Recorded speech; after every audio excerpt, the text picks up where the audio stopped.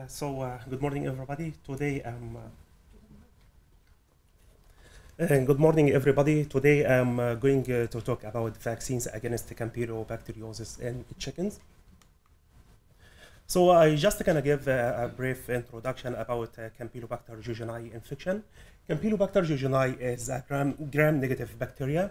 This bacteria is a common inhabitant in healthy broiler chickens. It uh, count up to uh, 500 million per teaspoon of intestinal content, and around 500 bacteria are enough to give human severe uh, diarrhea and or bloody diarrhea. This means that one teaspoon is enough to induce uh, infection to 1 million person. So close to uh, half of all food-borne infection is caused by uh, Campylobacter jejuni. This means that Campylobacter jejuni is the leading cause of foodborne illness in human.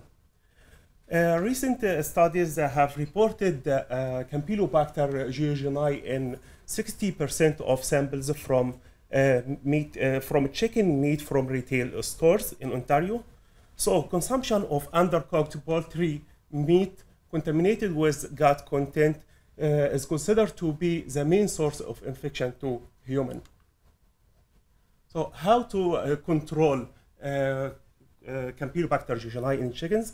So in order to control Campylobacter jejuni in chickens, different approaches have been applied for reduction of uh, Campylobacter jejuni burden in poultry.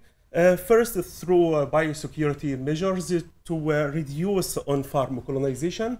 A second approach was sanitation in processing plants. Uh, however, uh, these uh, strategies are only uh, partially effective uh, to in control of Campylobacter burden in chickens. So vaccination is considered to be the key part of controlling of infection. And since there is no commercial Campylobacter vaccines are currently licensed, licensed to, for use in chicken, so our main objectives is to develop a vaccine against this bacteria. We have uh, three uh, main objectives.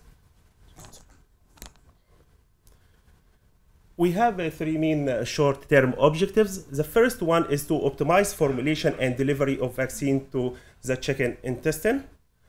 And because of uh, uh, broiler chicks are often get infected by third week of age, so we are going to investigate uh, in ovo and oral vaccination to induce early immune response. And also we are going to assess the efficacy of combination of Campylobacter vaccine and probiotics.